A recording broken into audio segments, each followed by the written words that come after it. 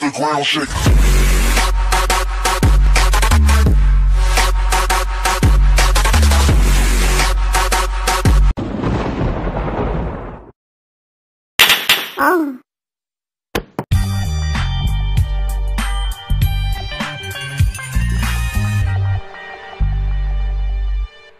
That is my passion.